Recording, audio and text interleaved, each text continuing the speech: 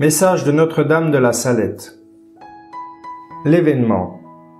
Le 19 septembre 1846, une belle dame apparaît à deux enfants originaires de Corps, en Isère. Maximin Giraud, 11 ans, et Mélanie Calva, 14 ans, qui gardent leur troupeau sur un alpage de la Salette. D'abord assise et tout en larmes, elle se lève et leur parle, en français et en patois, sans cesser de pleurer.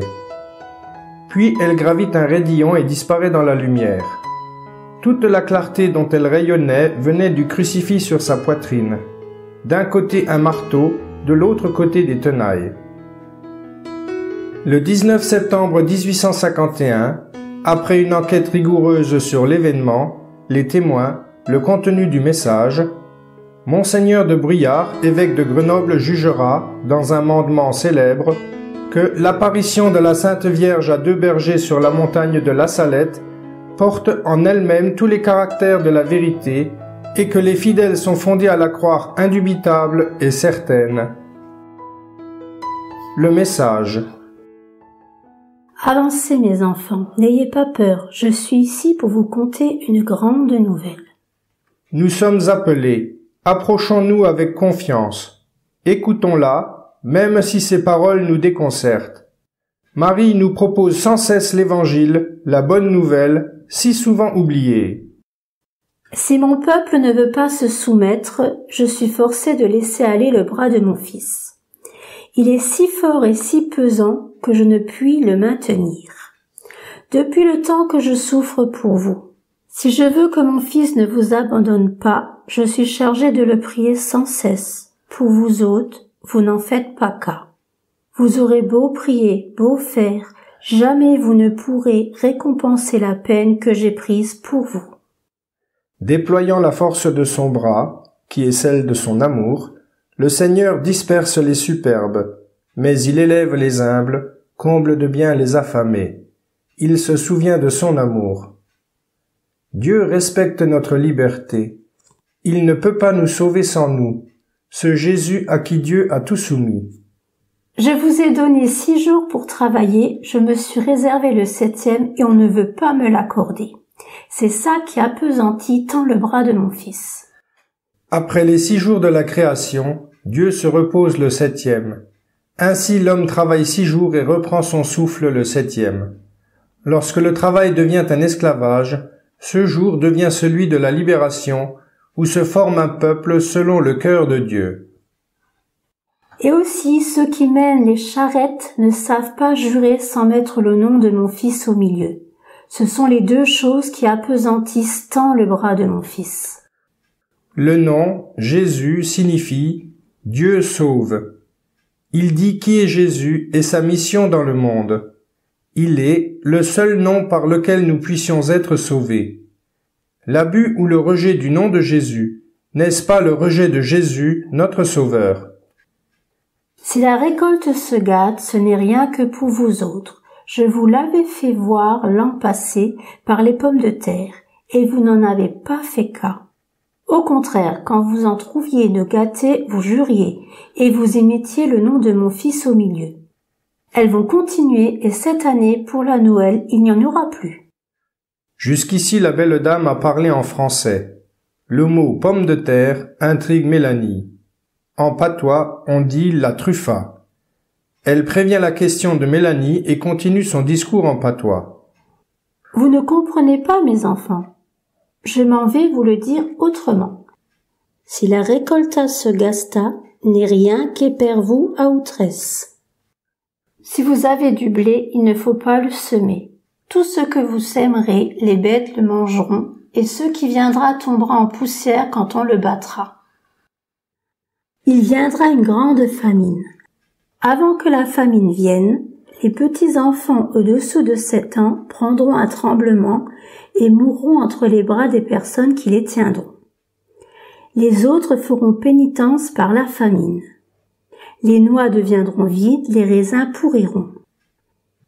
À la Noël 1846, il n'y a plus de pommes de terre à corps.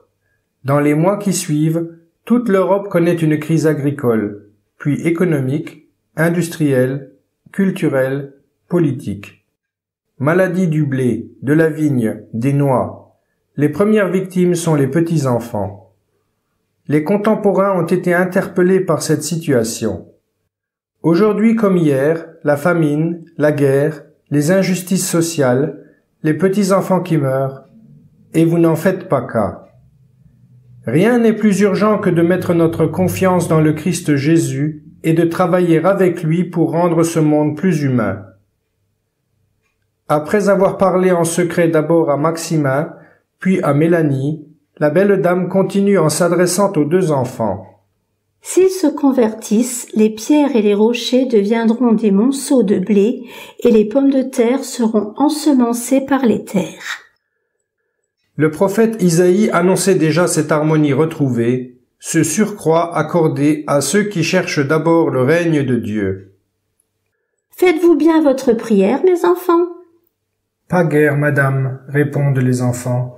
Ah, mes enfants, il faut bien la faire, soir et matin. Ne diriez-vous seulement qu'un pater et un Ave Maria, un Notre Père et un Je vous salue, quand vous ne pourrez pas mieux faire? Et quand vous pourrez mieux faire, dites sans davantage. L'été, il ne va que quelques femmes un peu âgées à la messe. Les autres travaillent le dimanche tout l'été. L'hiver, quand ils ne savent que faire, ils ne vont à la messe que pour se moquer de la religion. Le carême, ils vont à la boucherie, comme les chiens. Marie nous indique donc les repères à partir desquels nous pouvons entretenir et développer notre foi. Chaque jour, soir et matin, la prière, le Notre Père et le Je vous salue Marie. Chaque semaine, une véritable participation à l'Eucharistie le dimanche en Église. Chaque année, le carême, nouvel élan, conscience de notre dignité d'homme libre, engagement avec le Christ crucifié et ressuscité, au service des hommes et des femmes de notre temps. N'avez-vous point vu de blé gâté, mes enfants? Non, madame, répondent-ils. Alors elle s'adresse à Maximin. Mais toi, mon petit, tu dois bien en avoir vu une fois, vers le coin, avec ton papa. Le maître du champ dit à ton papa d'aller voir son blé gâté. Vous y êtes allé? Il prit deux, trois épis dans sa main, les frotta et tout tomba en poussière. En vous en retournant, quand vous n'étiez plus qu'à une demi-heure loin de corps, ton papa te donna un morceau de pain en te disant Tiens, mon petit, mange encore du pain cette année, car je ne sais pas qui va en manger l'an qui vient si le blé continue comme ça. Maxime répond Ah, oui, madame, je m'en souviens maintenant. Tout à l'heure, je ne m'en souvenais pas. Monsieur Giraud, père de Maximin, charron de métier, n'avait plus besoin de Dieu depuis longtemps. Tout d'abord, il ne voulut rien savoir de ce que racontait son gamin, jusqu'au jour où Maximin put lui dire Mais papa, elle m'a parlé de toi. Bouleversé, il découvre dans les paroles de Marie le Dieu de tendresse, présent à son angoisse de père de famille qui n'a plus de pain à donner à ses enfants. Eh bien, mes enfants, vous le ferez passer à tout mon peuple, ajoute-t-elle en français. La belle dame gravit un raidillon sinueux et répète avant de se fondre dans la lumière qui s'atténue et elle disparaît. Allons, mes enfants, faites-le bien passer à tout mon peuple. Les dernières paroles de la belle dame sont un envoi en mission. Ce que nous avons compris, il faut le vivre. Maxima et Mélanie ont accompli leur tâche.